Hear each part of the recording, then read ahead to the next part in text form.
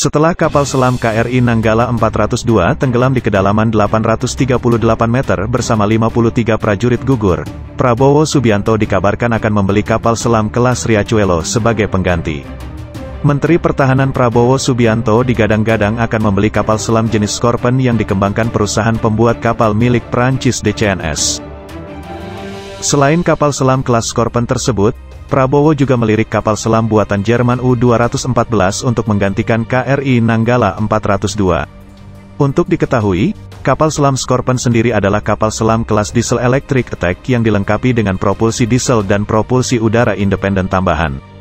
Pejabat dari Kementerian Pertahanan Indonesia sedang berdiskusi dengan konsorsium yang dipimpin oleh pembuat kapal Prancis Naval Group untuk kemungkinan pesanan kapal selam kelas Riachuelo.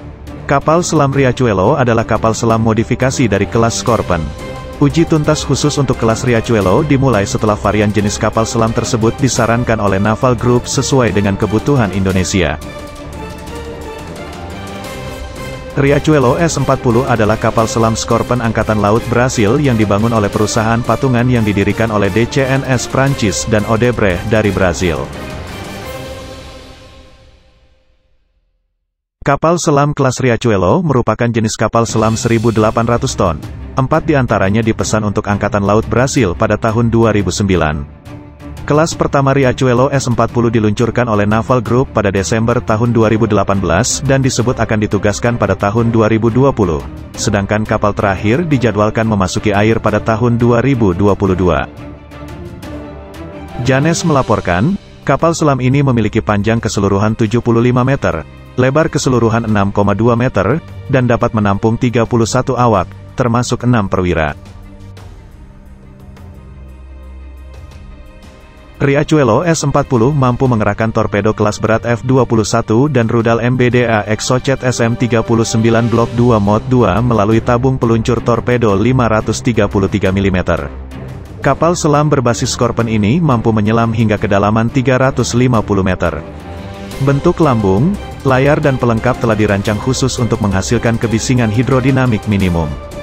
Berbagai item peralatan dipasang pada penyangga elastis, yang pada gilirannya dipasang pada blok yang tidak terhubung dan platform yang ditangguhkan. Isolasi juga memberikan perlindungan kejutan yang lebih baik pada peralatan. Kapal selam kelas Scorpion memiliki dua set pembangkit diesel yang menghasilkan tenaga 1250 kW.